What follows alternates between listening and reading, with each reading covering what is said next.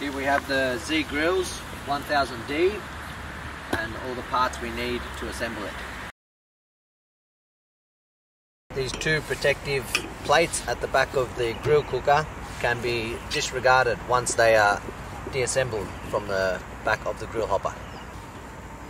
Okay, so these parts can be pulled out and discarded. Just throw them away. Now we have removed all the parts from the two boxes and laid them out on the ground, ready for assembly. Okay, the first step of assembling is to turn the platform upside down and install the wheels. Wheels with the brakes go at the back of the platform and are just screwed in by hand until the end when we use a wrench to tighten the wheels.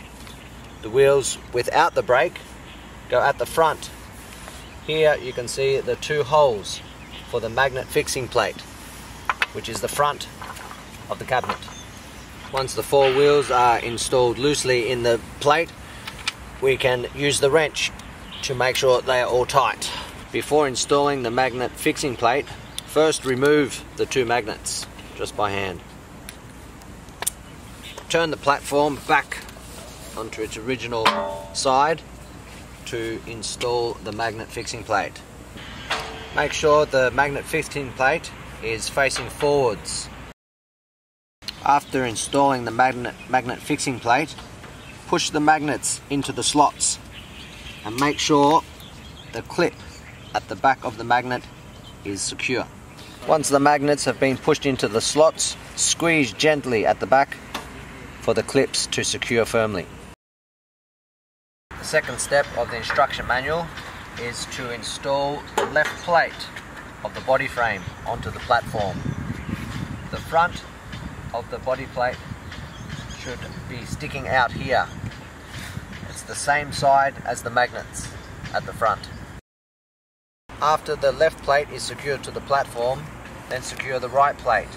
Again, with the protruding part of the plate at the same end as the magnets. After securing the left and right plates to the platform, it's time for the black back plate. Okay, this will need six bolts, screwed two at the bottom and then screwed to the two sides.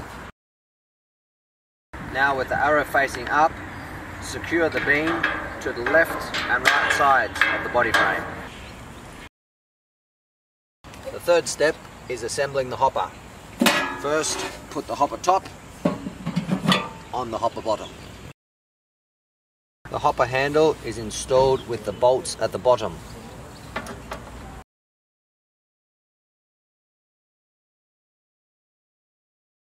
Now to secure the grill hopper to the body frame.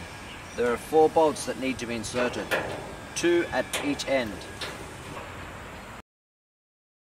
The next step is to mount the hopper into the grill chamber.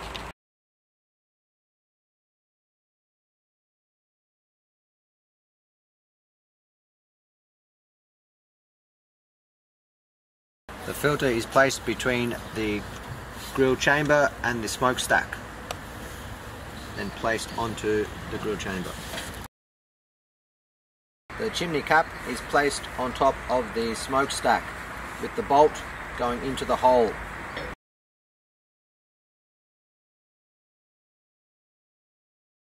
When installing the doors, first place the bottom pin into the hole, frame, then pull down slightly on the top pin until you find the hole, then release.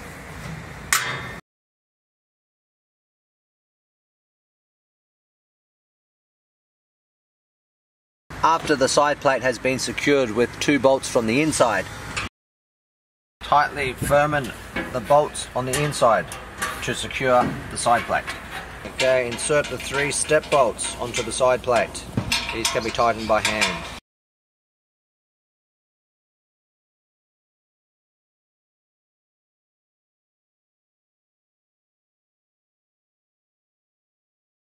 Next place the heat baffle into the slots. The grease drain pan is placed into the chamber with the slope going away from the hopper.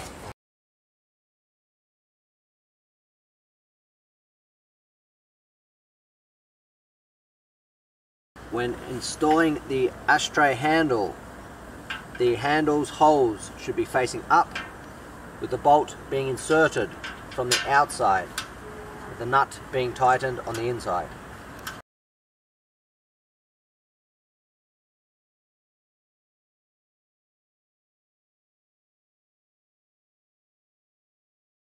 Now we've completed the assembly of the griller and we are ready for cooking. When not using your griller, always remember to put on its all-weather cover to keep it in pristine condition.